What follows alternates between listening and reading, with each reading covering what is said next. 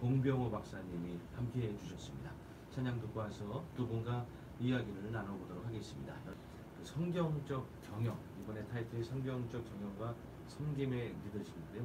어, 일반 경영하고는 좀 어떤 차이가 예. 있는 것인가 말씀해 주시죠. 성경적 경영과 보통 경영의 차이는 그냥 보통 경영이라는 것은 성과를 잘 만들어내는 거지 않습니까? 네. 근데 성경적인 경영의 가장 큰 핵심이라는 것은 예수 안에서 경영을 하는 거지 않습니까?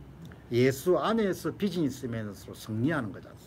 그러면 예수 안에서 비즈니스맨으로 승리한다는 이야기는 결국은 예수님을 잘 삼위일체 하나님을 정확히 이해하고 성경이 우리에게 주는 선과 악, 그 다음에 참과 거짓, 정도와 사도, 기준과 잣대를 가지고 성경이 제시하는 그 다음에 예수의 도를 따라간다 이렇게 생각하면 현장 사역에서도 성공할 수 있고 그 다음 비즈니스맨으로도 얼마든지 성공할 수 있는 거죠. 네. 요즘에는 굉장히 사람들이 이제 상대주의 시대니까 네. 선악이 막 흔들리지 않습니까? 그 이번에 한국에도 보면 조국 문제를 저는 정의의 문제로, 선과 악의 문제로, 진실의 문제로 보지만 다른 분들은 그냥 진영의 문제로 보는 분이 계시잖아요.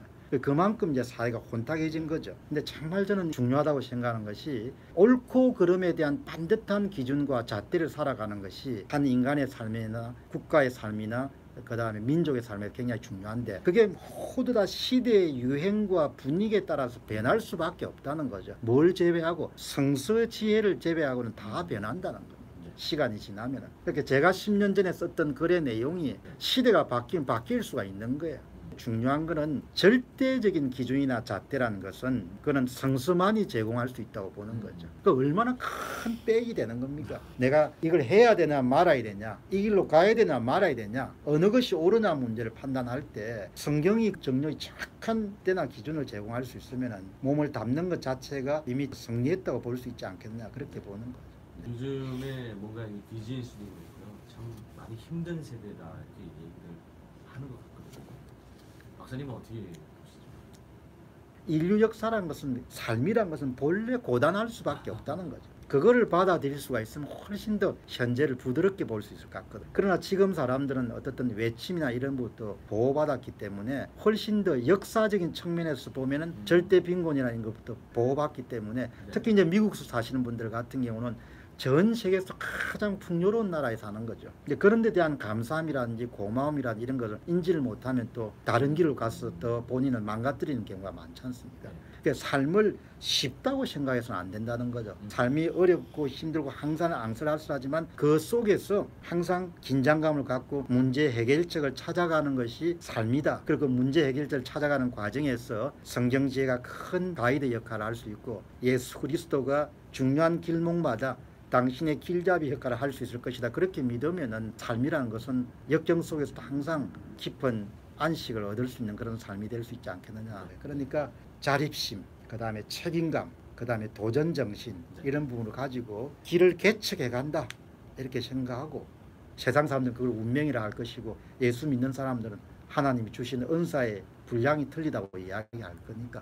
예, 그래서 매 순간 순간 열심히 사시는데 성경적 경영을 하는 사람들은 매 순간 그분이 나와 함께 하신다라고 생각이 될 거 아닙니까? 그러니까 외로움도 없을 것이고 분명히 이번 고난도 헤쳐나갈 수 있는 방법을 그분이 주실 것이다. 이렇게 믿는 사람들한테는 얼마나 큰 복이 떨어지겠냐. 자, 이제 두 번째 주제로 넘어가서 섬김의 리더십인데요. 여러 다양한 리더십 중에서 섬김의 리더십을 이제 말씀하실 계획이신데 어떤 내용? 저는 가장 인상적인 부분이 기본적으로 성김 서번트란 부분이 가장 중요하구나. 그 지금 대한민국이 받는 그런 고통이나 고난이나 불평이나 불망도 가장 근저에는 성김이라는 부분들이 실종하거나 부재됐기 때문에 발생하지 않습니까? 그래서 저는 이번에 성김의 리더십이라는 그런 주제에서 정말 그 성김을 어떤 식으로 현장에서 구현할 수 있겠는가? 성김의 리더십에 실현하는 리더는 어떤 특성을 갖고 있는가? 그 다음에 앞으로 한국이 어떻게 될 것 같냐? 성경은 수십 번을 듣고 읽고 찬송도 수십 번을 들어도 항상 감미롭고 채워지잖아요. 사람을 그냥 계속 채워 차고 넘치도록 만들지 않습니까? 그러니까 항상 성서를 좀 가까이 할 수가 있으면은 더 우리가 나은 그런 결실을 얻을 수가 있는데 한국은 많이 좀 어려워지겠지만 그 어려워짐 속에서도 항상 마지막 것은 우리가 항상 이방 세계 끝까지 선교를 할 수 있는 재력이라든지 경제력을 우리가 유지할 수 있도록 도와주실 거다 그렇게 저는 믿죠. 예, 고맙습니다. 네. 멤버십 후원자들을 위한 질문 코너를 진행하도록 하겠습니다. 오늘 댓글을 남기실 분은 이진실님입니다. 거짓말이 싫어서 광화문 집회에 나갔습니다.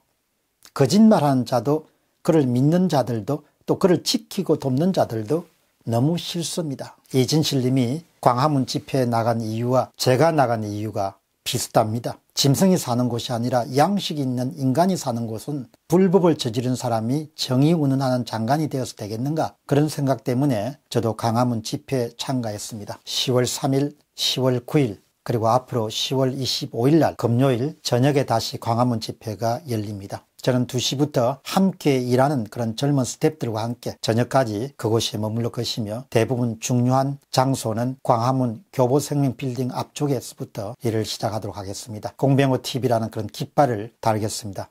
여러분께서 보시고 오셔서 저와 인사도 나누시고 사진도 찍으시고 인터뷰도 하시면서 영상에 담아내시기 바랍니다. 이진실님처럼 멤버십 프로그램 후원자로 가입하신 분들이 질문이나 댓글을 남겨주시면 제가 영상으로 답하는 시간을 이렇게 갖고 있습니다. 앞으로 여러분들께서도 멤버십 프로그램 후원자로 등록해 주시면 고맙겠습니다. 우리 사회가 더 훌륭하고 역동적이고 자유로운 사회로 성장하는데 씨앗을 뿌리는 그런 활동이 될 겁니다. 감사합니다.